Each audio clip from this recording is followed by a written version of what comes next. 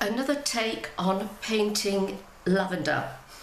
Lots of students say we want to see how much water and how much paint you use. So I'm going to do that, hopefully, in this video. To start off with, I'm using Fabriano 140 pound, 300 gram 1264 Fabriano watercolour and it's um, a rough cold press okay? So it's got a texture to it. Now I've put some masking round the tape round the outside just to see where my paint is. Please bear in mind that when you use masking tape not to brush into the tape. If you've got a textured paper such as this it might not be forming an absolute seal and you'll get some seepage. And that's always worth remembering in any process where you're using tape. Okay, two pots of water, one for washing your brush and one for mixing your colours. This is so you don't get contamination. So what am I going to use? I've got here a Pro Art Renaissance Sable it's got a nice point, a number number six I think that is, it's a bit worn. So we'll see how we get on with this. So one brush and a limited palette. So lavender, there's going to be the slight rim of the pot here. The lavender will be coming out the top. The light will be coming this way. Now what colours am I going to use? Let's have a look. We've got a burnt sienna there, which will be lovely for the pot. These, by the way, are Paul Rubens. They're nice paints. They sent me some to do a review, which I did some years ago. They're very creamy and they activate quite quickly. By that I mean is whenever you start to use your paints, I usually spray with water and it just sort of wakes them up a little bit. We all need waking up a bit, don't we? So I'm going to use that for the pot. Now I've got a permanent violet there. That might be okay for the violet itself without having to mix. But I'm also going to have some white.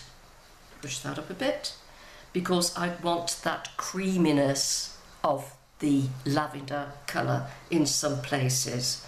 You will hear people say you don't use white in watercolour painting because you use the white of the paper. That is correct up to a point, but there are sometimes when you want that pastely sort of colour and also remember white will make the pigment you're using go opaque. As for the green, mm, I don't know, maybe that tree green with a bit of something else. Let's see how we get on. So, where am I going to start? I'm going to start by wetting my brush. Okay.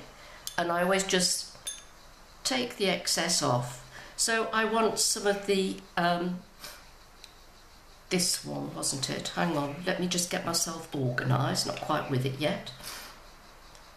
That one, I do believe. Let's just have a look. No, next one. Yes, that's a better colour. Now, see how activated that was? So what I'm going to do, I've got the tiniest bit of colour on that brush. I'm now going to dip it in the water. See?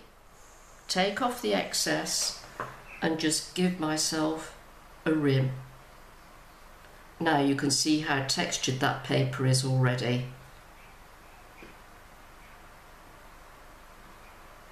Okay, that will do to start. Now I'm going back to the paint and I'm going back in to that wet and let it run. Now what I want to get here is a bit of the rim for the pot, see round the side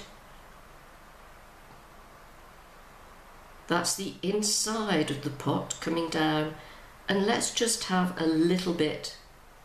Follow the arc round, then you'll know you've got the shape right. Back into the water, bit more paint.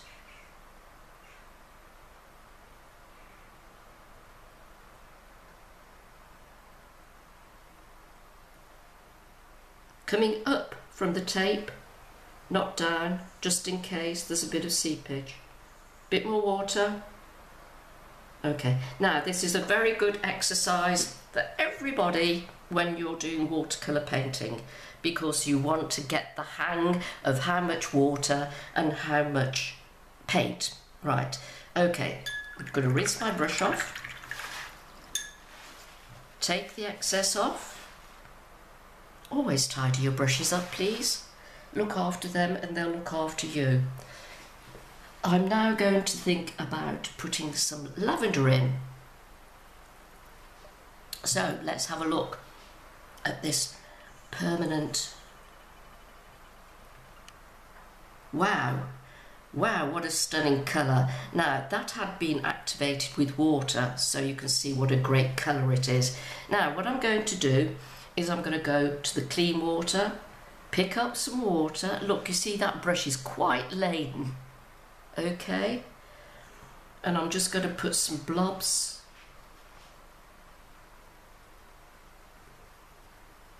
of the heads of lavender. See how wet that is? Again, more water. This is what a lot of people aim for to paint in a more wet and loose style. Now, see the difference in colour? That's because the brush was more laden with the pigment and I've been adding water. Right, we want to go off there. Let's go back and pick some more up. Just drop some in. Now, look how it runs. Let it play.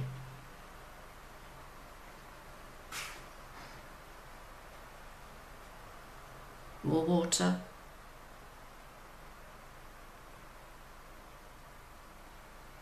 Go back to that. See, I haven't gone back to the paint yet at all. I've got plenty here because watercolours last a long time.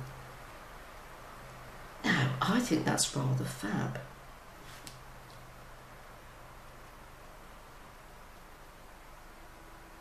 Okay, so let's just leave that for a minute. Look at these lovely marks down there and up here. Okay, going to rinse that brush off. Good rinse. Take off the excess, tidy brush off, and let's think about the green. So I was looking at what they call tree green. Oh no, that's far too bright. Let's add a little bit of what they call sea blue. Hmm. Remember, your paints will always change according to manufacturer. Now that's rather an interesting colour. I wonder how it would be if I took some white. Because if you look at lavender green, it's a sort of a grey. Oh, that's quite nice. Bit too bright. Bit too bright. Let's take a little bit of, a little bit of that. A little bit more. Let's take the edge off. Okay, let's just have a play. Go in, get some water.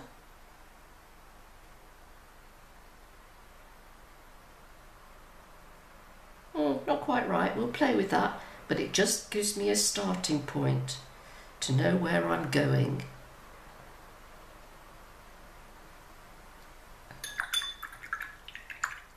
Now, I do try to keep a limited palette but on this occasion I'm going to take some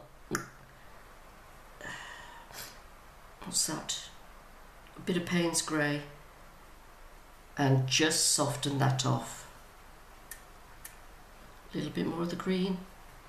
That's better. A bit more green. That's better. Okay.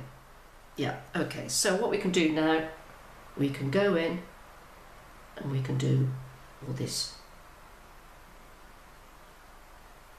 Don't worry if your colours merge. This is all part of the fun. Because what you can do, if you're one of those people who like to get everything absolutely perfect, this isn't going to suit you at all. But you can go back afterwards when it's dry and do lots of little fiddly bits like that. Okay?